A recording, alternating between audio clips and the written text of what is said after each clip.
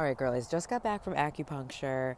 Just filmed the five videos I needed to film for home match. I'm in between videos taking a little break, but I wanted to give you guys an update on my project, my big Taos New Mexico tiny home project that I am doing this year. So this is where I'm at in the process. So I've already called the town of Taos where I'm going to be building these uh, tiny homes and I got the building permits that I needed to fill out. So I'm working on filling those out and getting approved for so many different things. You have to get approved for like your drainage, you have to get approved for literally so many different things. So I'm working right now to get approved.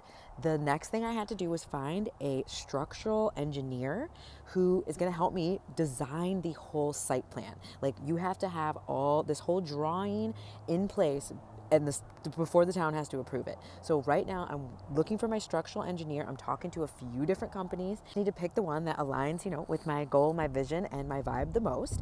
And then I've already found the manufacturer. So these tiny homes are basically going to already be ready to go. They're going to be shipped over on a boat, and I am now have to find a the closest port to Taos, New Mexico, and then I have to find a freight forwarder to pick up these units from there and drop them off on my property in New Mexico. So right now I'm working on getting my structural engineer and I'm working on finding my freight forwarder and I'm just going through the process. I am assuming that this is going to definitely take all year, but the process has been started and we are just going to keep going through the motions, honey, until these tiny homes are up and people are renting them on Airbnb. Let's go!